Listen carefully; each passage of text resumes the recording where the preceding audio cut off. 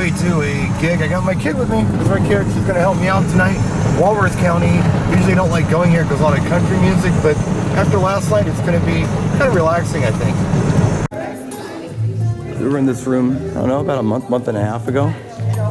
Here's the setup tonight. First dance, and I just want you to know that I'm throwing a lot of light onto the dance floor. You can see it's uh, WiFLY bars bars. The colors of the rainbow.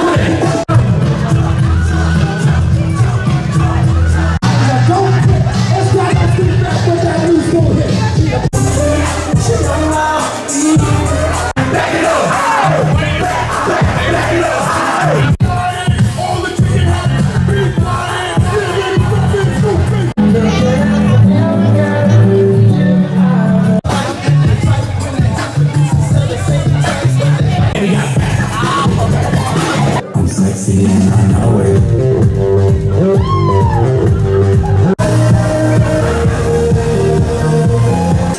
One more time.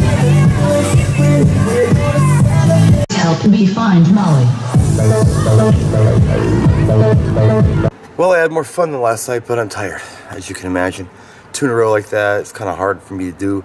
Stevie was a big help. She helped me load in, set up, break down, and load out. The rest of the time, she was kind of chilling out in the lobby on her phone, and that's fine. She can do whatever she wants. I don't want her behind the booth sitting there bored, but she can go into the lobby and do whatever she wants. She's not anybody's way. So, yeah, big change from last night. I had fun. And come to find out, it was kind of weird. I mean, the playlist that I got, I didn't have a lot of contact with these people. It was an agency gig. The playlist that I got looked very Walworth County. But then after I got here, after a few hours, I figured out that they're actually uh, Chicago suburb people. So that's why we were able to step it up to you know the stuff we did toward the end. The other thing I want to mention that's kind of funny, and I don't remember what song it was I played. I think it was, God, maybe Blurred Lines. It was about 10 o'clock, but up until that point, I never turned the sub on. I was just running those RCF uh, 408s alone until about that time. So if it sounds funny, you know, there you go. On the other hand, you know what? You can absolutely run just the 408s and be just fine. So that's it. I'm turning this off. We'll see you next weekend for gig logs. In the meantime, stay tuned for more videos this week. Practice and enjoy.